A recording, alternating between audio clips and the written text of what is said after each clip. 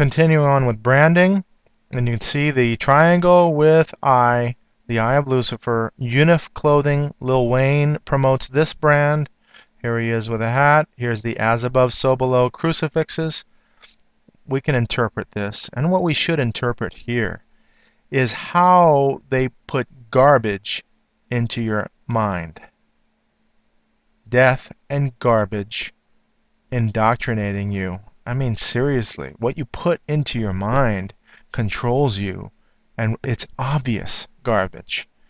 Here's the lightning bolt of Unif, Unif clothing, lightning bolt, Luke 10:18. I beheld Satan as lightning fall from heaven. Here's Selena, the Disney product. This is the Nero's cross as the peace sign, and you can see the skull and bones there. Peace bones. Selena and her boyfriend Justin Bieber. 666. Triple six with the third eye in the forehead. The Hindus wear the third eye. It is the eye, spiritual eye, and in this case, they're showing you what is going on. Gym, tan, laundry. If you're really busy, Satan's right in the middle of, of your busy life. Life, sex, and death and look at the connotations pentagrams, money, uh, crosses left and right, crucifixes. Is this meant to be read right side up or upside down? In this case, upside down.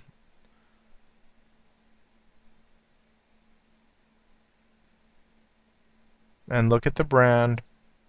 Here it is. Upside down cross, control minds. And I am proposing to you and telling you she is a mind-controlled slave. When she got beat up by Chris Brown, supposedly, that was her conditioning and her humiliation, public humiliation. You understand what these people do? They bring spirits in. Do you see the Satanism going on? And again, copyright infringements, trademark infringements, Mickey being promoted by Disney product Selena, and here is Mickey. They own the copyright. This is called Disney Lamb. They know exactly what this brand is doing, Unif Clothing, and they have no qualms about it because Disney was involved in MK Ultra and pedophilia and all of that satanic stuff.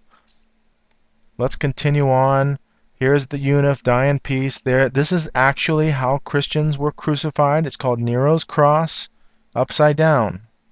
It is also uh, now in the runic alphabet, uh, which witches uh, and witchcraft uses. Of course, it's turned out to be a peace symbol. But look, peace, love, and wicked witches. They understand where it comes from.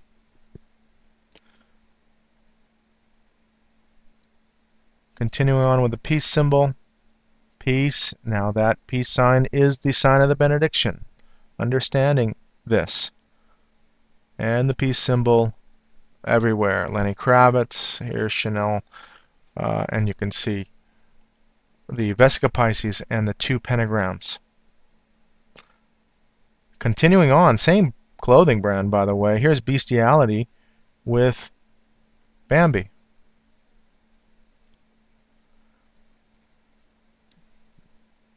Don't mind if I do. Promoting drugs. They don't care. They got you either way. You're an atheist. Satan has you.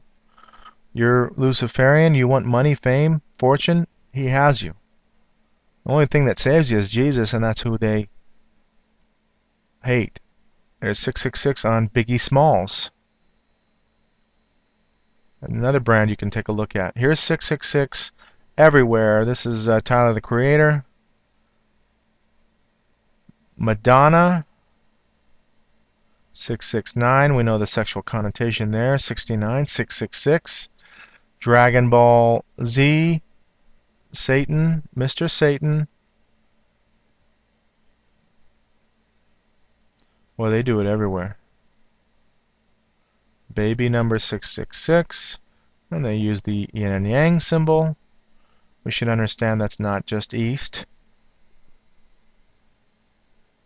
666. Ellen DeGeneres and her commercial, I think that's J.C. Penney. He has 666 on the forehead right here. That's a movie. This is in Harry Potter and Monster Energy. Three Vavs. The Vav is the symbol with a stroke, small stroke to the right and down. And you can see the three strokes of this made to look like a monster.